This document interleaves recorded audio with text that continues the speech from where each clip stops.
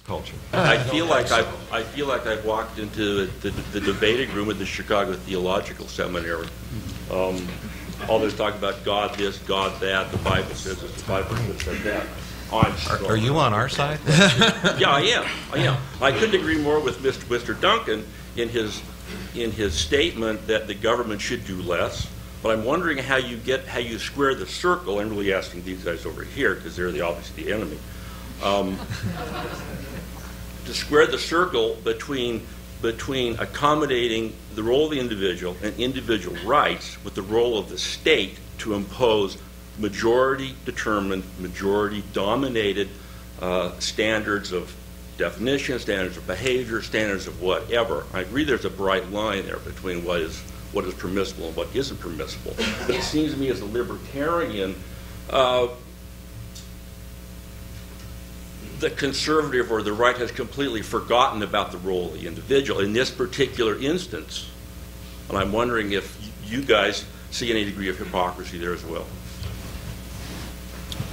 Um, Sure, Yeah, I'm, I I think, I think I understand the question to be that, um, uh, sort of sympathetic with uh, Mr. Duncan's comments that the government is not the solution to all of our problems, and it- it certainly isn't, right? We have a tradition in this country of limited government, of libertarianism.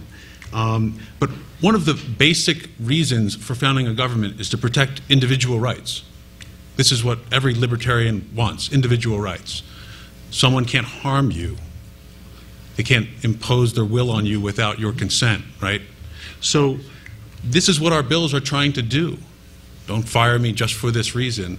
I think the civil rights movement and the feminist movement would be quite astonished by the notion that women should um, simply work it out with their employers, and so should African Americans, because the government, after all, is not the solution to all of our problems.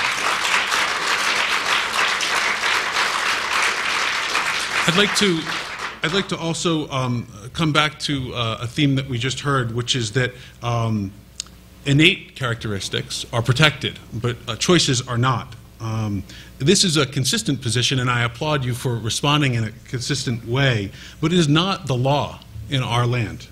Um, we protect religion in this country, as we've mentioned earlier. Religion is not innate, it can be uh, chosen and it can be changed. Um, I- I'm sure that you would respond that that's in the Constitution. Religion is a constitutionally protected right, and it is. The problem is, so is homosexual behavior. Five years ago, the United States Supreme Court said that it is none of the government's business what we do in our bedrooms. This is a principle I would think that Mr. Duncan would applaud. And they said that gay people have the right to engage in private, consensual, intimate conduct just like heterosexuals do. Until five years ago, it could be a felony, and it was in Utah, and you could be thrown in prison for, I would guess, I think, 10 years. But the, but, excuse me, I, I, you know, it's, I've, I've always wondered when the appropriate time would be in um, my career here at Utah to come out. And I think it's probably the moment. I'm not homosexual, I'm heterosexual. He's straight. So there it is. And, uh, and I think. uh, we've I- got 30 seconds left in your time. Yeah. Um, and that's just a way of saying that life is a little bit more complicated than you might assume. But just the idea you'll get plenty of action reduces it down to this behavior, and that is not what it's all about. It's, it's, it's so broader and deeper and visceral and um, biological and um, um, mental. So it- What is